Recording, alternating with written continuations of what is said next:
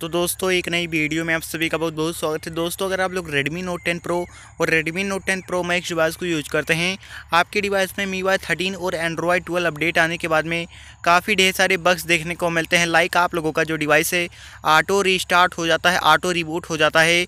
हमारे YouTube channel पर काफ़ी ज़्यादा कॉमेंट आ रहे थे कि इस प्रॉब्लम को कैसे सॉल्व करें हमारे रेडमी नोट टेन प्रो और प्रो Max डिवाइस में। तो इस वीडियो को पूरा देखने के बाद में आपकी डिवाइस का जो प्रॉब्लम है, वो हंड्रेड परसेंट फिक्स हो जाएगा।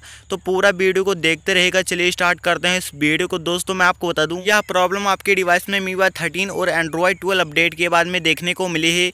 तो इस प्रॉब्लम को फिक्स करने के लिए आप लोगों को सिंपली अपने डिवाइस को एक बार डाटा को बैकअप करने के बाद में फैक्ट्री रिसेट करना, जिससे आपकी डिवाइस की ऑटो रिबूट, ऑटो रिस्टार्ट का जो प्रॉब्लम है, वो हंड्रेड परसेंट फिक्स हो जाएगा। क्योंकि इस ट्रिक को मैंने खुद अपने डिवाइस में यूज़ किया हूँ और मेरे डिवाइस का जो प्रॉब्लम है, वो फिक्स हो चुका है। तो ऐसे में आप लोगों को अपने डिवाइस को फैक्ट्री रिसेट करना होगा, जिससे आपकी डिवाइस का जो प्रॉब्लम है वो हंड्रेड परसेंट फिक्स हो जाएगा। सो गई आप लोग इस ट्रिक को अपने डिवाइस में यूज़ करिए और हमें नीचे कॉमेंट करके बताइए कि आपके डिवाइस का यह प्रॉब्लम फिक्स हुआ या नहीं हुआ। अगर आप लोगों को वीडियो अच्छी लगी तो वीडियो को लाइक कर दीजिएगा।